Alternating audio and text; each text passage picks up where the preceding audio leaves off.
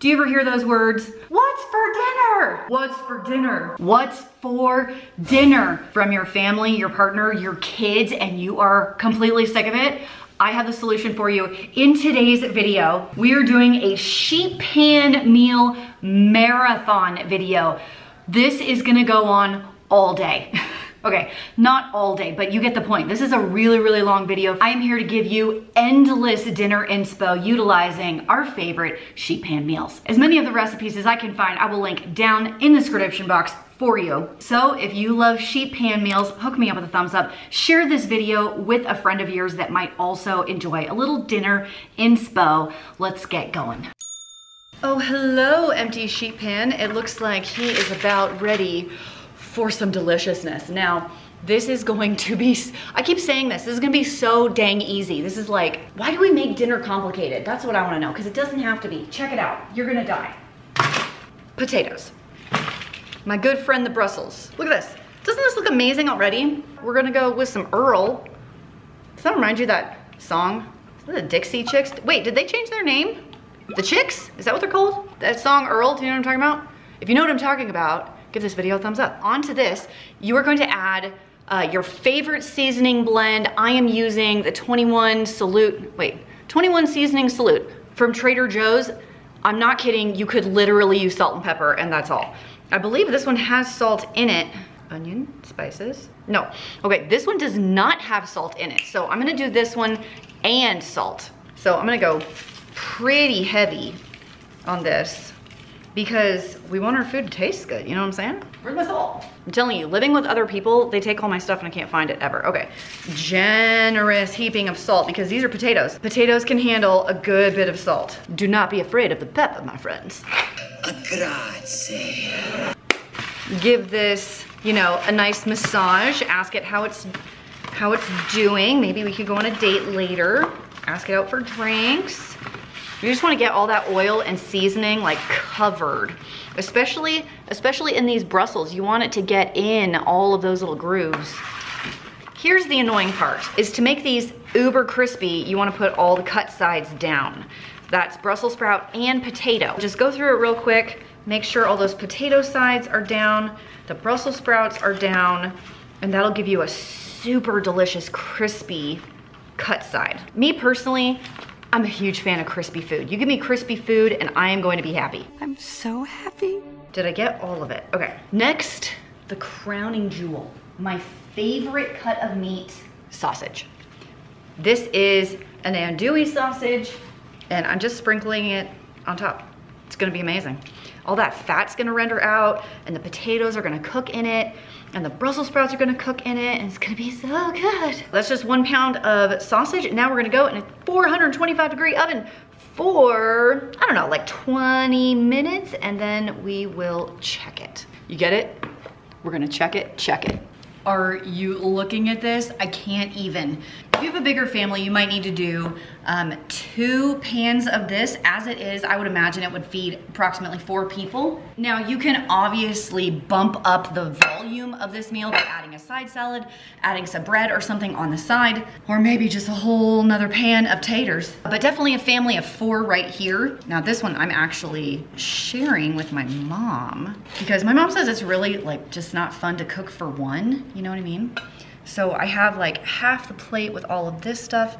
And then I do have a bagged salad. I'm gonna take over to her so she can have a little bit more veggies, but I wish you could smell this. The smell of the sausage with the salty potatoes, it's just heavenly. Hey friends, sorry to interrupt the cooking video, but I wanted to tell you about today's sponsor, Seed, and why it matters to me. So a few months ago, I had some health issues. I don't want to get into that, but I did start researching more about gut health and was really interested in including a probiotic into my diet. And I wanted one that was backed by science. So what I found is Seed is a actually daily synbiotic, which is probiotics and prebiotics kind of together. After listening to a podcast with the guest Chris Kresser. Uh, he talked a ton about gut microbiome and how it affects so much of your body. I would recommend anyone to go and research the gut microbiome, how it affects your health, and how a probiotic and prebiotic like this synbiotic can promote health as well in your life. If you want to try this out for yourselves, I do have a link down below. It's gonna get you a sweet deal. You just have to use the code Christine at checkout to get 20% off of your first subscription of Seeds DS01 Daily Synbiotic. Uh, one more time, that's just the code Christine. It's gonna be the first link down the doobly doo below to go check that out for yourselves. Thank you so much to Seed for sponsoring today's video. Let's get back to more sheet pan meals. We are making a sheet pan dish I'm very excited about because it's easy and it's Cajun. so I've started with six ears of corn. They've been shucked obviously and cut into quarters. And this is big enough to feed six people, definitely. So you're gonna need two sheet pans for this. I have my oven preheating at 425 degrees. If you have convection, go ahead and do that. Now I have one pound of the mini sweet peppers and you could cut these in half and take the seeds out, but I find that there's so few seeds anyway that, I mean, this is all about easy, speed. Look how beautiful these are already. I absolutely love looking at vegetables sometimes because of the gorgeous colors. Look how amazing this looks. Tell me you're not already excited about this dinner right here. Next up, I have some fresh thyme it. what? Fresh thyme. If you get your hands on some of this, I usually like to keep it in my freezer. It does turn a little brown that way, but it's okay. I'm just gonna kind of pull some of the seeds like this and then just sprinkle the whole thing over that. This is definitely not fancy. We'll call that what, persnickety. This is just like get it on the pan, right? Next up, a little sprinkly dinkle of olive oil. Is that a weird word? Sprinkly dinkle? Ah. well, you know, a healthy drizzle of olive oil here, mostly because this, uh, this bottle does not have a small spout, so it just kind of globs out. And your favorite Cajun seasoning. Now this is not my favorite one, my favorite is Uncle Tony's, but I did pick this one up on clearance a little bit ago because I love Cajun seasoning. So let's just use this one up. And we're gonna give it a generous teaspoon sprinkle on each pan, maybe a teaspoon and a half, you know, whatever. Get in there and mix it all together. Now we're gonna add our chicken. I have six pieces of boneless, skinless chicken breast, so I'm gonna kind of like spread out my veggies so they can kind of come in the middle here. Now I'm doing three pieces for each sheet pan here. The chicken will also have a little drizzle of olive oil mm. and our Cajun seasoning. Now, depending on the brand that you use, you might have to add salt and pepper. Mine has salt in it already, so I will not add any salt here. Make sure you give it a little flipperoo, get both sides. If you're not familiar with Cajun food, they spice their foods heavily. Time to throw it into our oven for about 20 to 25 minutes or until everything's about done. You are so beautiful. Oh, to hear that sizzle, I love that. It's like they're excited to go to dinner. Are you ready for what we are going to do to these veggies? It's gonna be epic. Gonna be legendary. Just finished watching How I Met Your Mother, so the leg legendary thing is on my mind. So I'm taking the chicken out. You know, we have all this delicious sauce and everything, but we're gonna add another one. I'm gonna top the veggies with your favorite hot sauce. Now, since this is Cajun, Tabasco would have been the way to go, but I don't have any right now, I have Cholula. So that is what I will use. So just a little sprinkly sprinkle like this, and then toss, toss all your veggies in that juice, the hot sauce, and now we can start plating. You could even dump all of this on a platter and let everyone just kind of pick their own. Oh, I might do that. Now that I'm thinking about it, that sounds like a good plan. So I'm just gonna do this big mixing bowl. And here comes all of my delicious veggies with the hot sauce. And I mean, you guys like onions? Throw some onions in there. You like cooked celery? Throw some celery in there. You can put in whatever veggies you want and I'll sprinkle a little more Cholula on top of that. I mean, you could do sriracha, you could do whatever.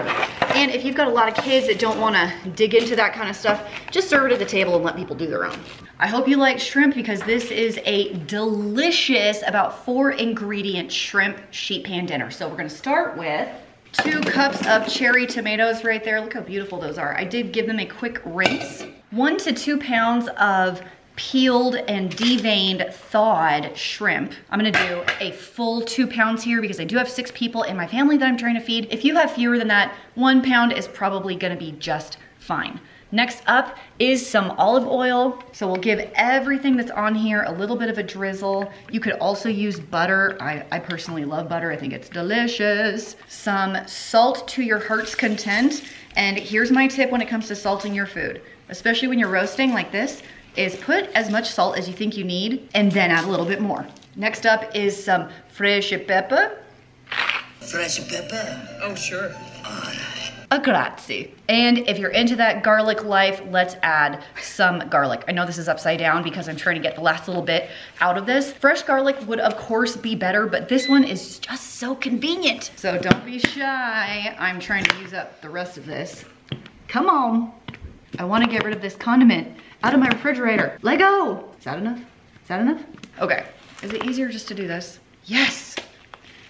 I feel dumb for not taking the lid off earlier. That is now empty. A hallelujah. Amen. Before we throw this in the oven, I'm gonna give it a little, a little zhuzh, a little stir. We want all of these flavors to be totally combined. 400 degree oven for 10 to 15 minutes, depending on your oven. Once your pan comes out of the oven, mine took about closer to 15 minutes. I'm gonna take one lemon and your lemon juicer and squeeze this all over the top. And you can serve this just like this with a salad or some bread on the side, or you can serve it on top of pasta, which is what I am doing. So I had half a box of penne that I am cooking over here in a different pot that is almost ready. So we're gonna stir all of this together in just a moment. I'm gonna add a little bit more pepper. What do you think on the salt, Haley? I think the salt's good. Salt level. wee bit more pepper. Okay, we got, we got the pepper. Yeah, it's just a little bit. This is essentially a chicken and veggies dish. You could use whatever cut of chicken. I'm using thighs because I love thighs. I just think the dark meat flavor is so delicious. And you can use whatever veggies you want. Turn it aside, keep the skin, don't keep the skin. It feels like I'm not keeping the skin. just because it pulled off so easy. So there's six thighs in here. So this, in theory, could feed a family of six, although my kids really like to eat two thighs per person because this is a pretty small serving. Depending on the side dishes that you serve. Um, if you were to bump this up with a serving of rice or bread or salad or something like that, I think you could probably get away with feeding six people. Otherwise, I would say this one would feed four, I think. And I have my oven preheating at 425 right now. Those skins just like pulled right off. These do have the bones in them, so you don't need to worry about overcooking this chicken. It's not going to get dried out or anything, which is another reason I love dark meat is because it's really hard to mess it up. Maybe I'll just move all my chicken to one side and all my veggies will come over here. So I have my three bell peppers that I just chopped up. That is a lot. It'll be fine. Also, I'm gonna use this! Just threw it on the floor, oops. Um, this broccoli and cauliflower mix right here. Some of these are really big, look how huge that is. I'll just cut that in half. Now, at this point, you're basically just adding your favorite seasoning. And I'm using a pre-mixed seasoning packet today. I found this one at Ross and it's been sitting in my pantry and I need to use it, so here we are. But you can just use salt and pepper. If you use enough salt, it'll taste perfectly good. You can use a Mrs. Dash kind of thing. You could use Uncle Tony's. You could do just whatever. So I'm gonna give this a good drizzle of oil so my flavoring will stick. There is salt in this. I'm just double checking. There's quite a bit of salt in this, so I don't need to add extra salt. 425 for 20 to 30 minutes, depending on your oven. Okay, update on the sheet pan dinner. Ended up separating these because my chicken thighs are taking a very long time to cook and my veggies are about done. So the veggies are coming out. I still want them to be like a little like cooked but slightly crunchy. You know, I don't want them to be mush, you know what I mean? So here are my roasted veggies. Those are coming out. They look delicious.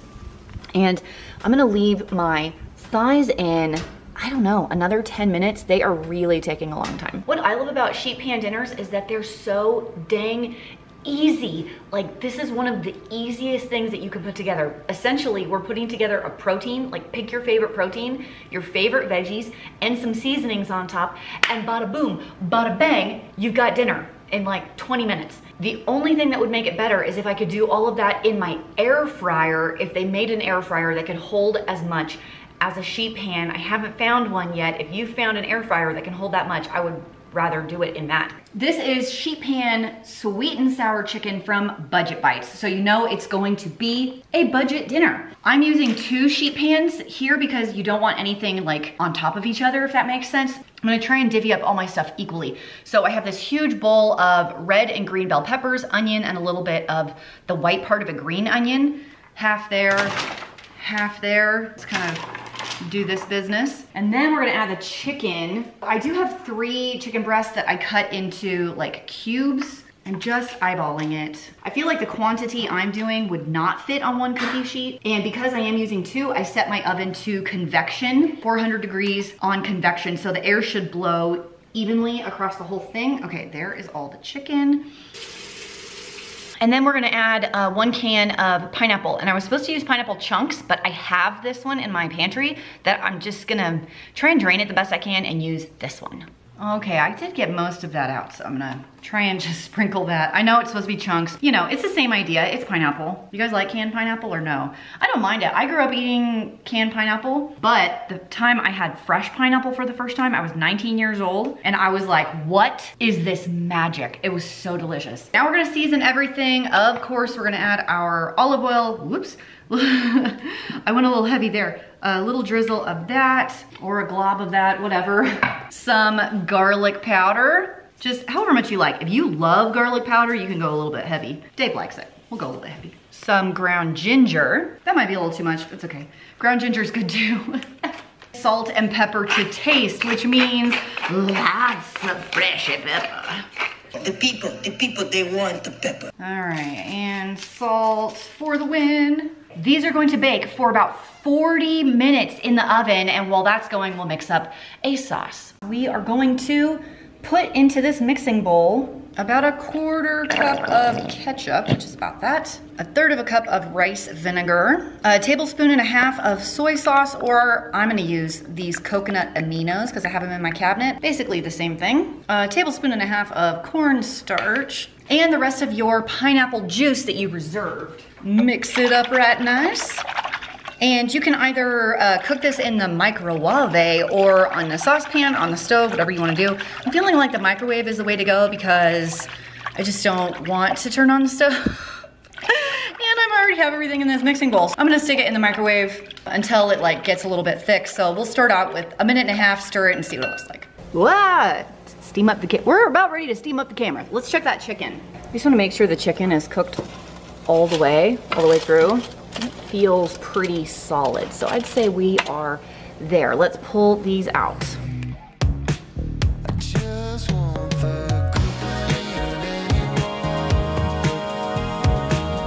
That is all she wrote. And if you're wondering why it's in this foil pan, it's because I'm actually taking this over to a neighbor for their family for dinner tonight. If you're making it for yourself, go ahead and cook up some rice, serve it on top of some rice. Oh, don't forget, sprinkle it with the green onions. I'm just taking this over with some Instant Pot rice to my neighbor. If you wanna make this also, but you don't need any extra dinners, you can also make it and take it over to a friend. It's great to stick into one of these foil containers from Sam's Club. They're a really great price there. Cook up some rice. You could even put the rice on bottom, then this on top, take it over. They would love to have a meal if you are so inclined, or you can just serve it to your own family. Tonight's sheet pan dinner is gonna be from one of my favorite websites, damndelicious.net, I believe it is. The recipe will be linked down below. It is sheet pan cauliflower nachos. What? I have one full head of cauliflower that I chopped into kind of florets a little bit. I tried to make them small because it is supposed to be nachos, right? So I wanted them to be more bite-sized than your big, big florets. And I am tweaking the recipe a little bit because I like to do that. You do need some diced red onion and I had all this red onion left over. So I'm just gonna mix in the rest of the red onion in here. I like cooked onion a lot. I just don't love it raw. It's too tangy to me. We're gonna put that in there just to give it a little, little bit of a zing. Onto the cauliflower, we will do some Earl. We will roast the cauliflower first for a little while before we add the rest of the ingredientes. Some garlic, I'm using this tubey guy because oh my gosh, it's so easy. It's just so easy. There's one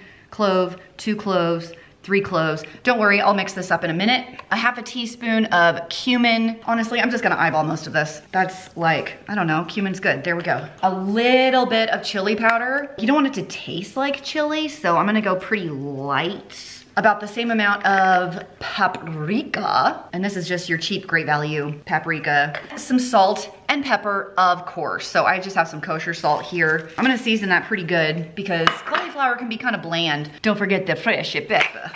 I just kind of wanna get those seasonings, the oil, and the garlic just kind of all over everything. So just give it a massage. In the oven, 425 degrees for 12 to 15 minutes. 15 minutes later, this is what we have. And we're gonna add uh, three more ingredients. So first of all, I'm gonna throw in some of this tubey cilantro. If you wanna use fresh cilantro, save it until serving time. I'm just gonna give it a little bit of a drizzle. Four more ingredients, I think. That's number one.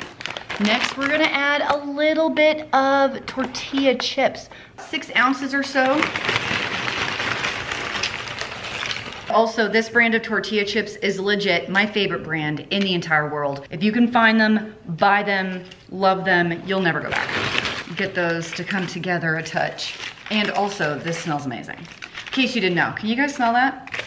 Next up is a can or a pouch of black beans. And they said you're supposed to like rinse it and all that jazz, but I'm not going to.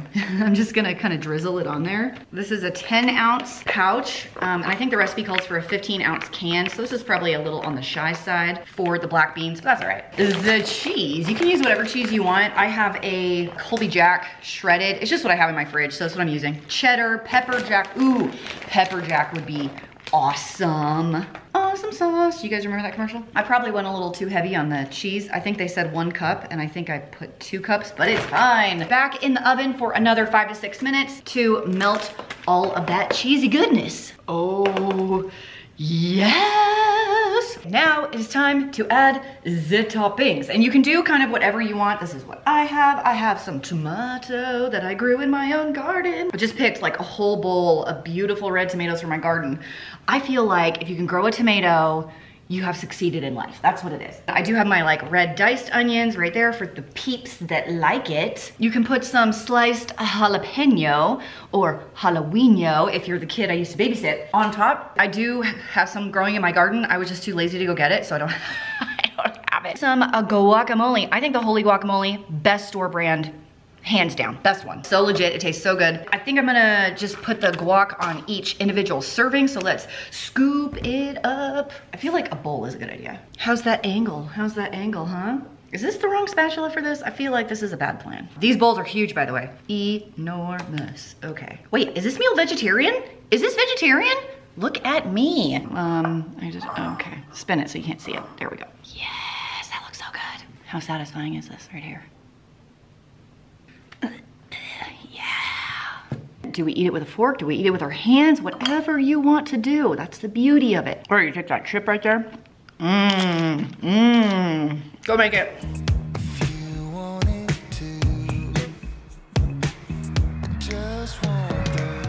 After I have all my veggies and chicken on my sheet pan, you know, you can use whatever veggies you want. You can use spicy peppers. You don't have to use as much onion. It's whatever. You could do steak or pork or anything. I am going to drizzle with some extra virgin olive oil.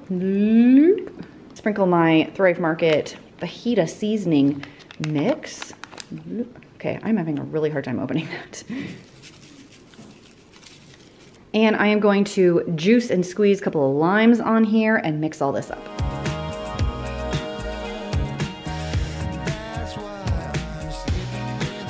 Time to pick your tortilla. I have these street tacos. I, Dave tells me to keep, stop buying them because they're too small to fit anything on. So I think we're gonna use these up first And if I get through these, I'll switch over to the corn tortillas. Make sure you heat these up on a skillet or over a fire uh, so they're a little bit more pliable and cooked, I guess. We're just trying to get these out of my bread cabinet today uh, because I already had them. So street taco tortillas it is. And come on, they're so dang cute, right?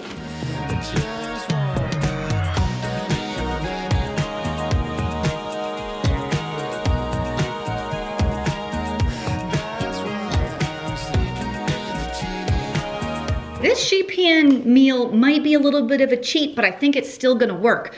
You will start with a Pillsbury pizza crust or a great value pizza crust. It doesn't matter. We use whatever brand you like. I'm gonna be doing two of them because I have a lot of people to feed. I have a greased sheet pan right here and another one waiting in the wings. My oven is preheating to 400. So I'm just gonna spread this out and pre-bake this in the oven. Please don't pop my hand. Please don't pop my hand. Oh, good, good. Okay. Pop. We're gonna preheat this in the oven for ah, six to seven minutes. And while that's going, I will cook up my topping. Oh, whoops. Um, we're essentially making Sloppy Joe pizzas and this should be fast and easy. And I do wanna spread this out quite a bit more. I might just put both on this one pan because um, this one's only covering half. You know what, let's just do that. Let's put both in one pan and only do one sheet pan. Fun story about this pizza crust is I did a Walmart grocery pickup for the ingredients for this video that I'm doing. Oh, I like the Pillsbury one better. It's like longer and fits nicer than this one. Okay, so that's interesting to note. My Walmart grocery pickup only gave me one, even though I had ordered two. So I had to go into the store to go get it. Somehow on the way home, the lid had gotten smashed. And so when I got home, it was open, like the lid had popped open. It was unusable for this video. So I had to go back to the store again to get another one. The Pillsbury pizza crust here has really given me a run for my money. 400 to 425, depending on how hot your oven cooks or whatever, whatever pan color you're using. A darker pan will go with a lighter temperature. A lighter pan will go with a higher temperature for six to seven minutes. While my pizza crust is preheating, I have browned up one pound of ground beef and I'm going to add one jar of your favorite Sloppy Joe mix. This is kind of the only kind my Walmart has is the Manwich. Mix all of that around, warm it through. This is my sauce and topping for my pizzas. This comes together so quick. It's ridiculous. When the pizza crust comes out of the oven, you can see that the Pillsbury side actually I feel like bakes more evenly than the generic side, so that's also interesting. We're gonna top all of it with our Sloppy Joe ground beef mixture. Next up is a mixture of cheeses. So I have about a huge handful, we'll call that a cup, of shredded mozzarella cheese maybe a smaller handful of some shredded cheddar or Colby Jack or something like that. A little sprinkle of the shaky cheese. Man, all, mine's all lumpy. Look at that. I don't know why it's so lumpy today. Oh my gosh. I thought it had anti-caking ingredients in there. That is not working very well. Anyway, we're gonna put a little sprinkle of that, which is great. I can use up this huge container because it's almost empty and get that out of my fridge. Sometimes I love stuff like this because it just uses up all the things you have in your fridge and then you're like, oh, look at all this room. And then you can go shopping and get more stuff. Okay, and I dripped some cheese on the counter, so I'm gonna pick that up. and throw that on here as well. Okay, back in your oven for another seven to eight minutes. Oh, Ove Glove, don't do me wrong. Oh, I'm getting food on it. I gotta wash it again. Oh, and we're done. Oh, I am not left-handed. This feels awkward. The Sloppy Joe pizza was such a hit with my kids. Andrew doesn't even like regular Sloppy Joes, but in pizza form, for some reason, it was different. Do kids make sense all the time? No, they do not. How can you go wrong with chicken and potatoes? You know what I'm saying? You know what I'm saying. And of course, we can add a little zucchini, a little tomato for a little bit extra health and fitness. So I kicked this off by making an oil and lemon juice herb mixture, had some salt, thyme, oregano, crushed red pepper flakes, because I really like that, olive oil, and lemon juice. I gave that a little bit of a stir and set that to the side. Don't worry, we're gonna cover the chicken, the veggies, everything with this later. If you don't wanna go through this step, you could of course buy maybe an Italian dressing or something like that, but I wanted to follow the recipe as it was written. So I rubbed it all over my spatchcock chicken. I think this is one and a half pounds of these like baby Yukon Gold potatoes. They're so amazing. You just give them a quick rinse. You don't have to peel them. They're so easy. Tossed everything with salt, a little bit of pepper, and popped the whole thing into the oven at a high temperature. This was 475 degrees for 15 minutes. Then you lower the temperature, cook it a little bit more, and add the rest of the veggies. I'll tell you right now, this meal was delicious. Okay, after we've gone the 15 minutes at 475 and the 10 minutes at 400, it is time to add the zucchini, tomato, and garlic. I thought about adding extra zucchini, but oh, it might be fine. I'll save the other zucchini for something else. So I'm just kind of spreading it all over. It is soaking in the remaining oil and herb mixture. And it's gonna go back in at 400 for another 10 to 15 minutes. I'm gonna go 15. I find that my oven takes just a hair longer than some recipes.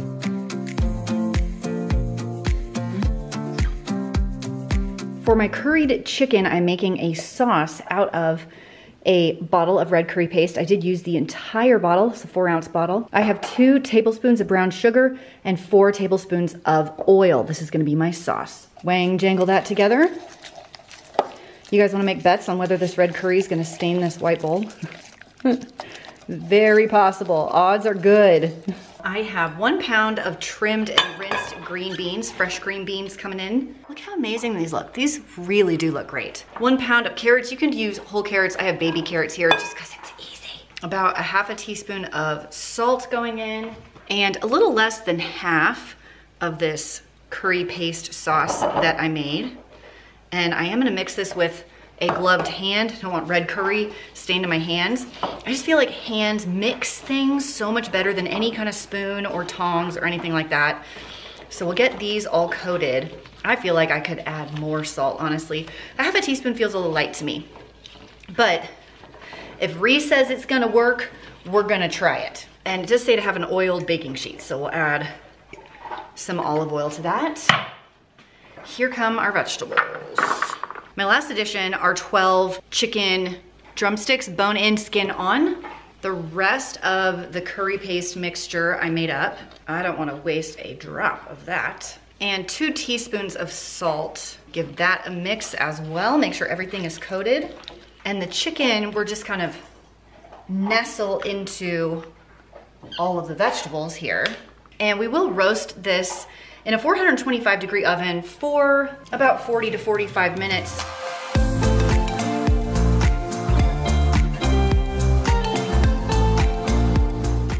This sheet pan gnocchi with spicy sausage and peppers, I actually have two of these sheet pans covered in foil, but only one fit in this angle. So just assume I'm doubling this. We're kicking it off with four sliced bell peppers, your choice of color. So I'll do half on this pan and half on the other pan. Three small sliced red onions. Again, divvy this between the two pans. You're gonna like this recipe if you have a big family or big eaters because it makes so much. Next up is a whole head of peeled and smashed garlic and two pounds of spicy Italian sausage cut into approximately one inch sections. And again, divvy this between the two sheet pans. Sprinkle with some ground oregano and salt. Now remember the sausage is already spicy, so just assume you're salting the veggies at this point. Next up, drizzle with your favorite olive oil and mix to combine. This one is almost out. Good thing I buy multiples from Thrive Market and give that a good mix so everything is coated with the oil, the salt, and the oregano. One last ingredient before it goes into the oven. A little bit over a pound package of gnocchi, half there, half in my other pan. And we'll make sure those are mixed in as well. And I have an onion overboard. my onion, my, my oven is at 400 degrees and we will bake both of these pans for 35 minutes or so. I will be switching about halfway. And if you have convection like I do, I would turn your convection on. Okay, when you pull these out of the oven, we're gonna top it with some balsamic glaze and some shredded cheese. You can do Parmesan, Pecorino. I think I have Romano cheese. Um, so I'm gonna go ahead and put this in a bowl. It's gonna be so amazing.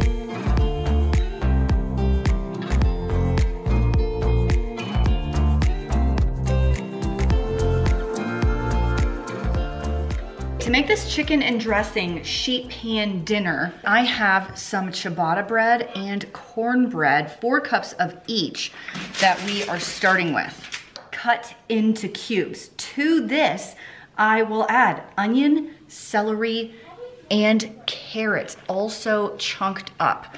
Um, just like, I love this. This is almost like a dump and go, but sheet pan meal style and not crock pot style. To this, I am going to add salt, pepper, sage, and thyme. I have some really coarse salt I am using today. I may come back with a smaller salt. I have ground sage and ground thyme both. I feel like sage is the epitome of a Thanksgiving flavor.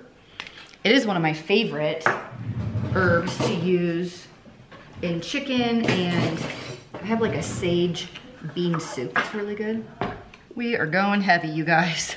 And ground thyme, there we go. And mix. Don't worry, we'll add butter in just a few minutes. I wanna get this mixed together before we tuck our chicken in here. I have eight chicken thighs that I'll just kind of tuck in here.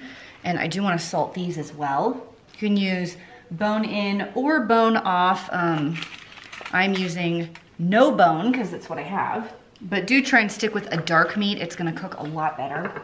Okay, so we're gonna put some salt on this chicken and top the whole thing with butter. And I will take an entire stick of butter, slice it, and put all the little butter pats on top. Okay, the pan's gonna go into a 425 degree oven, cook it for 15 minutes, and then kind of stir the butter around, and then we'll cook it for another 20 minutes.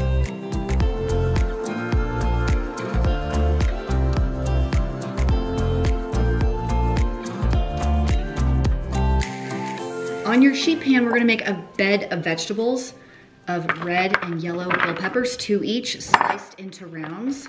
On top of that, one sliced into rounds onion. Kind of break those apart a little bit. Just making a bed of vegetables for our steaks to rest on. And two cups of whole cherry tomatoes, rinsed obviously. Here we go. Next up, we'll add our steak. I have a nice thick boneless ribeye two of them, one there. And these are so large that I'm sure you could divvy these into um, four servings. I am gonna season my steaks with Montreal steak seasoning. You could of course use any steak seasoning that you prefer. Very heavy coating on this. My oven is preheating into a high temperature broil. I really like this for the winter time because sometimes you can't get to your grill when it's covered in, you know, two feet of snow, much like my grill is covered in two feet of snow right now. It's been snowing all week. So you can use your broiler to do, to simulate a grill experience just in your kitchen. So now that my steaks are coated in the seasoning, I'm gonna drizzle the top with my favorite olive oil, the whole thing actually, the veggies and the steak. Make sure everything's coated here and a little bit of butter on top of each one just like that. Let's put this in the oven for five minutes and then flip the steaks over.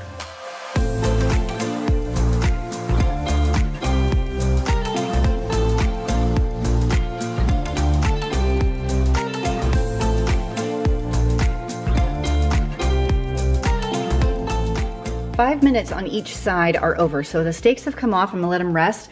In theory, you could serve it right now, but I want my veggies cooked a little more than this. So I'm putting this pan back in the oven on a lower rack for another five minutes. Yes, I know I need to clean my oven. I got more important things to do, like cooking this delicious steak. Okay, I think like five more minutes for this one. We're gonna go lower this time.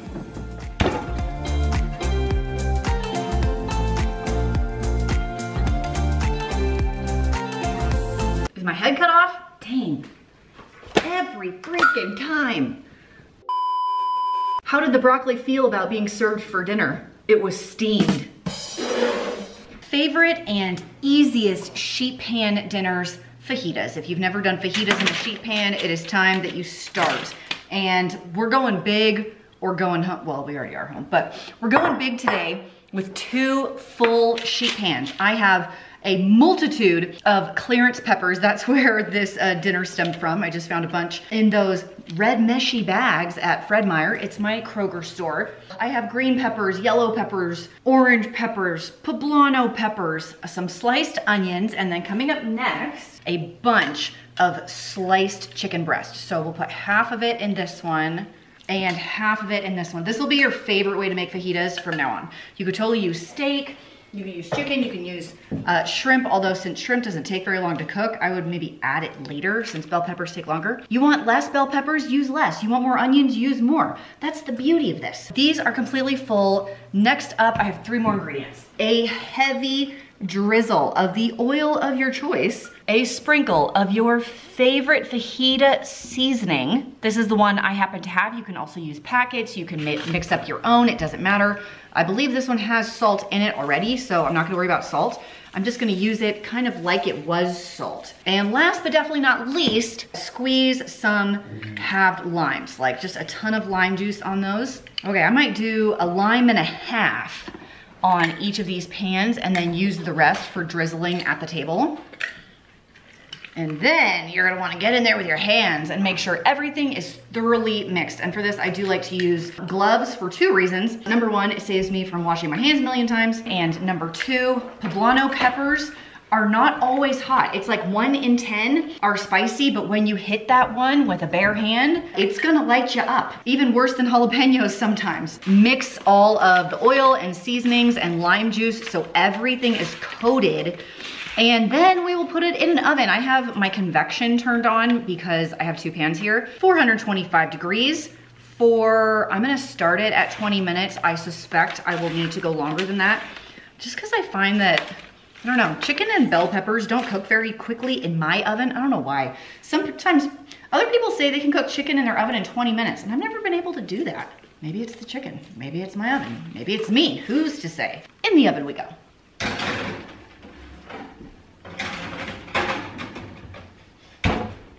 Sheet pan fajitas is literally the only way to make fajitas. It's two pans, one pan, four pans, it's so easy. I am ridiculously excited about this sheet pan jambalaya. On my sheet pan, I have one red bell pepper and one sliced onion.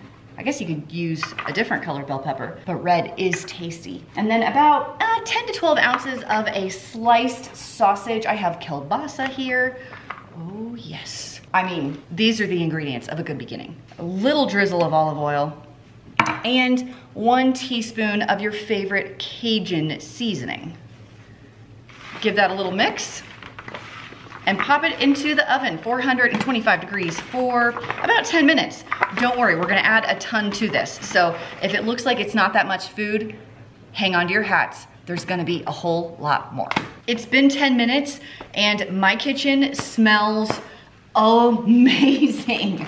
Coming up next, I have two bags of frozen rice cauliflower. You could use fresh also, whatever, uh, whatever is the best price that day, but in total it's about 20 ounces. Of course, you could also use regular rice if you want, but we're, we are trying to load up the veggies today. On top of that, I have about a tablespoon of tomato paste. I like these tubey guys because you can just keep them in your fridge so convenient. And a whole nother teaspoon of the Cajun seasoning on our uh, rice. Get in here and mix all of this together. Mine's been thawing a little bit, so it's not quite frozen frozen. Goes back into the oven for 15 to 20 minutes. You're waiting for most of the moisture to evaporate here, and then we're gonna add some shrimp. If you don't jive on seafood, I would definitely bump up the sausage here, maybe double up the amount of sausage, add some chicken. You could do rotisserie chicken, but we love shrimp and sausage and Cajun food in my house. Uh, for those that are new around here, my mom grew up in Southern Louisiana. My grandparents are Cajun French. Okay, back in for 15 minutes. A few moments later. Now that all of our liquid has dispersed, we are going to add the best thing ever. I have one bag, not quite a pound, of raw shrimp, peeled, deveined, but tails on. A little bit of salt, a little bit of pepper. You wanna make sure you season like each layer of this. Of course, some butter like this. And back into the oven for about six, seven minutes and we'll drizzle some lemon juice on top when we're done. Eventually, Okay, out of the oven, squeeze of lemon all over it. We'll stir it together, taste for salt and pepper, and dinner is ready. Of course, you can always add a side salad, a bagged salad is super easy. And I'll tell you what, my family never complains when we have any Cajun style meal ever. It's one of our favorite things. I wish you could smell this through the camera. It smells absolutely amazing. Family review on the jambalaya. First of all, when it comes to authentic Cajun food, you are not going to replicate a real deep smoky flavor in a fast sheet pan dinner. It's just not going to happen. So if you're looking for that deep, deep smokiness that comes in a gumbo or an etouffee, you're not gonna get it. However, it is delicious, was devoured by everyone in my family. And then when they were looking for the leftovers, of which there were zero, they were upset that there wasn't any more to have. So I might have to do a double sheet pan next time I make that one. For this rosemary chicken and potatoes, we will start with our sauce or dressing. And I'm going to put in some fresh rosemary and thyme that I diced up, about a tablespoon each. I'm telling you, there is nothing better than fresh rosemary. It's one of my favorite things. A good amount of garlic. I'm gonna go about maybe a tablespoon of this squeezy tube because it's so easy. I have the zest of one lemon, the juice of two lemons, a good drizzle of olive oil here, salt and pepper. So I just have some fresh ground black pepper right here and a good amount of salt because I have a good amount of food and we wanna make sure everything is salted well. All right, let's assemble our sheet pan. Okay, I have four chicken breasts. These are pretty large. So I'm trying to figure out the best way to spread these out. I don't know, something like that. Maybe on the edges, so I put my veggies in the middle. I don't really know. It probably doesn't matter. I have one pound of fresh green beans, edges trimmed off, but other than that, nothing's been done to those. And a pound and a half of baby red potatoes. And my mixture that I made before is going over everything. The chicken, the potatoes, the green beans, and I like to add a few more sprigs of rosemary, like this. I wanna make sure everything is coated well. I'll do another drizzle of salt on my potatoes, green beans, and chicken just to make sure everything has enough. If you ever find that your food tastes bland, it's because you need some more salt and pepper. And lastly, let's do a few lemon slices all over the top like this. And we're gonna put this in a 400 and, is it 400? 400 degree oven for about 30 minutes until everything is cooked. It's kind of beautiful, isn't it? My chicken and potatoes need just a few more minutes. I tried to poke into some of these bigger ones and they are almost there. They're just a little, a little bit more. So I covered up my green beans with a, just a little bit of piece of foil so they don't dry out or burn. And we'll stick this back in for another 10 minutes. Rosemary chicken with potatoes and green beans. In my opinion, you cannot go wrong with any of those items. Chicken, delicious. Potatoes, delicious. Fresh rosemary, lemon, all delicious. Highly recommend. Let's make a pork dinner. This is so easy, I love it. So on half of my sheet pan here, I have about two pounds of a pork loin roast. This is a much more tender cut than like a pork butt roast. You don't want one of those. And over here on this other side, I will dump about a pound and a half, two pounds of rinsed little baby yellow potatoes. I had my kids rinse those for me. Little olive oil drizzle here definitely on the pork and again over here on the potatoes. So the pork's gonna get this Tuscan seasoning. You don't have to use this McCormick one. I just figured it was easy, but I'm looking for some kind of Italian spice blend. So this does have salt in it, so I don't have to add anything else, but it also has garlic, basil, oregano, red pepper, onion, a little bit of sugar. This is just going to be sprinkled all over this. I'll massage it in in just a second. I've got my Dollar Tree pink Himalayan salt here. A good amount of salt because potatoes can handle it. And then whatever pepper you like. I'm using this uh, Alpine Touch pepper blend. Little massage here. My oven has preheated to 400. It is ready to go. We'll put this in to get it going for about 15 minutes, 20 minutes. Uh, and then we're gonna add some broccoli to the pan. That looks amazing. Okay, 400 degrees for 20 minutes. After 20 minutes, pull out your sheet pan and we'll add the broccoli. I got a pre-washed, ready to go, uh, five or six cups of broccoli, and clearly we have a space issue. So I don't wanna burn my hands or anything, so I'm going to scooch that guy over and try and put the broccoli kind of in the middle.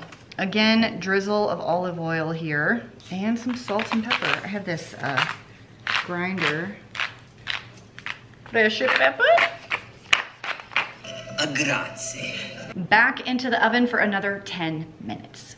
This sheet pan meal is sheet pan chili lime salmon with potatoes and peppers. So I already got started with the potatoes. I have some Yukon Gold and because I have a larger family, I knew it wasn't all gonna fit on one pan. So I went double panned. This time my oven is on convection at 425. Chopped up the potatoes, those roasted in the oven for about 15 minutes with salt and pepper and oil, that's it. After that, I added some bell peppers that I sliced in a nice spice rub. Let me tell you about that. It's chili powder, cumin, garlic powder, lime zest, and salt. I put half on the bell peppers, put those back in the oven, and the other half is here, which we will put on the salmon. And there is salt in this, so you don't really need to add extra salt here. And of course, once this is done cooking, we're gonna top it with lime juice because fresh lime on your food and in your drinks will change your life. Now, salmon is pretty oily for a fish, so I am not adding extra oil to the fish right here. I'm just making sure it's nicely coated in my spice mixture. So this salmon is going to go in the oven for six to eight minutes, just until it's cooked, and then we will serve everything together. I love sheet pan dinners because it's really easy to put together like a delicious protein with a side of vegetables. You can pick any veggies that you like.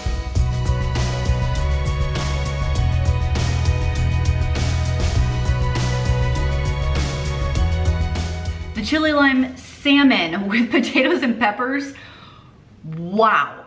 Can I just say, wow, my son, my 10 year old, scarfing the peppers and potatoes. And he told me that the whole meal was excellent, but his favorite part of the meal was the roasted bell peppers. So huge win in my book, will make again, especially with that amazing Thrive Market salmon. This Pioneer Woman recipe was originally skewers that go on the grill, and that was way too difficult, took way too long for me. So I am converting it to a sheet pan dinner. In this mixing bowl, I am going to mix up my sauce, which is uh, about a half a cup of a thick teriyaki sauce, and I'm just gonna eyeball that. Oh my gosh, that is so thick.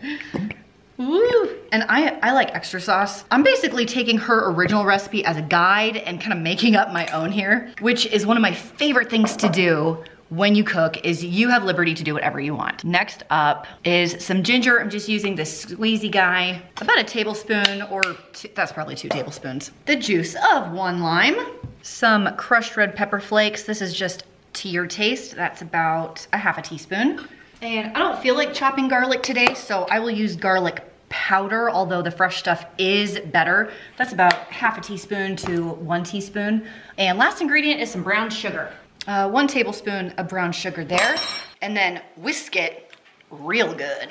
And this is our sauce or dressing or whatever it is that you wanna call it. And let's put everything together on the sheet pan. My oven is preheating to 400 degrees right now. On our sheet pan, we're gonna add most of our ingredients, which is about a pound and a half of chicken. This is boneless, skinless chicken breast, chunked up into like one inch cubes or so. I have two red bell peppers going on, a bunch of green onions, and 20 ounces of pineapple. Now you can use the frozen ones like this, or you can use canned pineapple. Fresh pineapple it really does not matter. So this is 10 ounces and 20 ounces. Hey, remember our sauce? Here it comes. And I realize it doesn't look pretty at this moment. We're gonna mix it up with our hands, the best tools in the kitchen. It'll be totally fine mix vigorously. Okay, not vigorously, just thoroughly. Get that everywhere. And if you wanna top it off with some salt and pepper, that is totally your call. Look how beautiful these colors are. And the only thing that would make this a little bit better is to serve it on top of a bed of rice. So I will, of course, be doing that in my Instant Pot. Spread all of that out into the corners. How amazing is this? Look at this.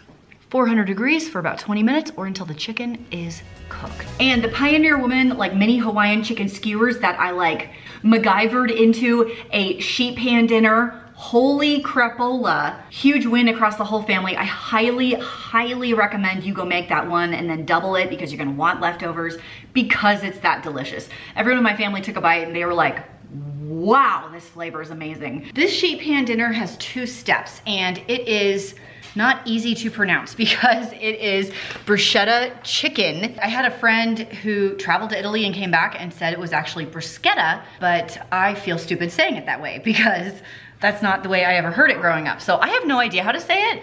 I'm just gonna call it bruschetta because I'm an American and that's how I'm gonna do it. So I have my beautiful Thrive Market chicken breasts here. What I notice about them is that they're very small. in comparison to the ones you get in the grocery store that are just enormous, which is probably a good thing. These are super simple, just salt and pepper. And I just have this like basic shaky, shaky salt, some fresh pepper. It's gonna be beautiful. I love, love pepper. My mom loves pepper a little too much. Uh, but I do love like cracked black pepper. It's so good. Okay, and then down here in the center, I have one pound of halved uh, baby red potatoes. So this is gonna be the base of our dinner. Uh, the chicken and the potatoes right here. And we are gonna season these potatoes as well. Obviously, if you have a smaller family, you don't have to do this many chicken breasts. This was um, about two pounds, ended up being seven breasts here. So I'm trying to squish them a little bit and make some room. Okay, the potatoes will have a drizzle of olive oil here, like this. I'm doing garlic powder instead of fresh garlic because number one, I'm lazy, and number two, this has been in my pantry for so long that I am really trying to get rid of it. I just don't use garlic powder very often, I should just stop buying it. I have some Italian seasoning. Again, something I never ever use. I need to stop buying this one too. Go kind of heavy on that one. Basically, we want like oregano, basil, thyme, all of that stuff. I'm just gonna do a little bit more. I also got thyme out, but this has thyme in it, so I think that's gonna be fine. Also salt and pepper on the potatoes, just like that. Okay, this smells amazing, by the way. You have to make this just so you can smell this. Holy moly. I have some shaky Parmesan uh, cheese, which is also going to go on the potatoes, just kind of like that. And this whole pan will go into a 400 degree oven for about 20 minutes. You basically want the chicken cooked and the potatoes cooked. So if it takes a little bit longer than that, that's totally fine. If it's shorter than that, that's fine too. Everybody's oven's a little bit different. And I have my sheet pan pretty loaded down right here. This is a lot. So mine may go a little, a little longer than 20. And while it's cooking, we'll put together our tomato and mozzarella topping. I am going to make my tomato topping for the chicken right now. So I have about two cups of cherry tomatoes, that were so big, I quartered them instead of half of them, but look how beautiful those are. To which I will add not quite a quarter cup of basil, mostly because my basil went bad really, really fast, and the rest of it is all brown. I have one garlic clove right here. You can use two if you want, but I find raw garlic to be really strong. So we're just going with the one. Next up, let's add a nice drizzle of olive oil. We'll throw on about a tablespoon of balsamic vinegar and some salt and pepper. So here's my pepper, lots of pepper. And I just have some table salt right there. Quick little stir, and this is gonna top our chicken once it comes out of the oven. You can make this ahead of time and let it sit, um, or right before if you want the tomatoes a little more firm. Time to slice my fresh mozzarella, which will go on top of the chicken about 10 minutes before it is done cooking so it can get all melty and delicious. Huge win. The potatoes oh my gosh, I have to make potatoes like that for the rest of my life, essentially. Life is better with potatoes. You could put that on a shirt and I will buy it. All of the herbs, the salt and pepper, the Parmesan cheese, mwah. And I loved having the fresh mozzarella and the fresh tomatoes drizzled on top of the chicken.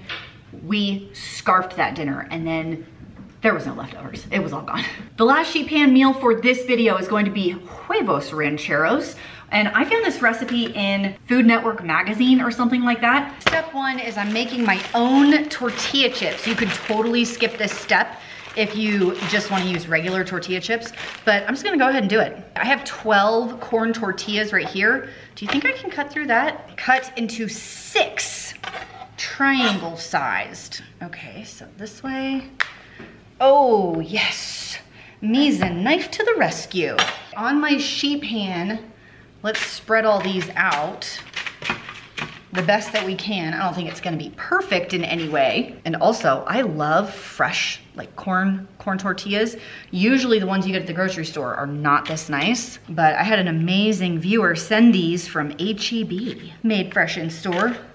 These feel so soft and amazing. I live very far away from an HEB. I might have to plan a field trip to go to one.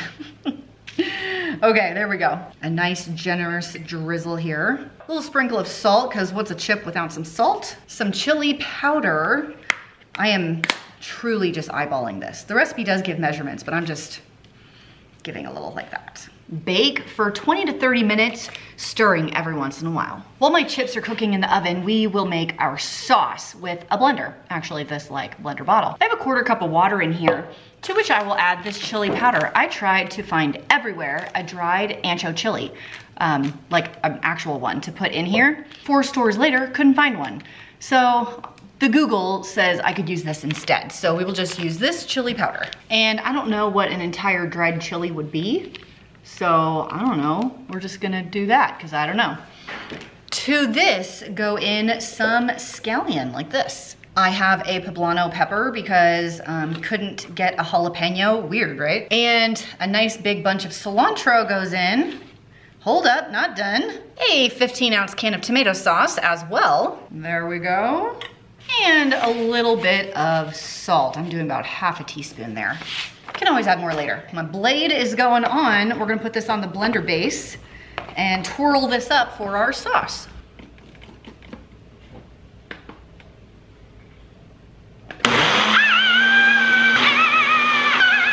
Okay, I think that looks pretty good. That looks like sauce to me. Ooh, she thick. There's our sauce. Hopefully it's salty enough. Smells good. Woo, smells like peppers. Woo!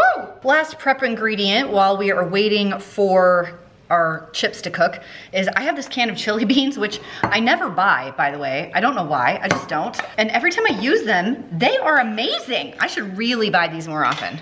So the whole can will go into a bowl with all of their juices. And we're gonna mash these up with uh, like a fork or a pastry blender. I might, oh yeah, oh yeah, that's it right there. The pastry blender is the winner, I think. Just until they're like semi-mashed, you know?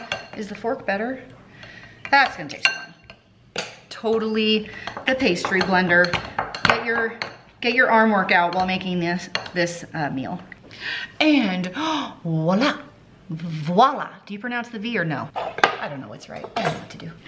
Now we wait for the chips. So while you're waiting, I guess go get out your eggs. You will need 12 large eggs to complete this dish. Choose the egg of your choice, the one that makes you happy. And minions assemble. Okay, I had a situation with the chips. Someone came to the door and I got distracted and burned the original batch. This is my second batch, so word to the wise, don't burn your chips. And I didn't feel like I had enough tortillas, so I think I'm just gonna add a layer of just already done tortilla chips just to bump it up a little bit. I will drizzle about a half a cup of this sauce we made. A little bit, we'll use more at the end. Um, all of our beans that we mashed up, those go up next, like this.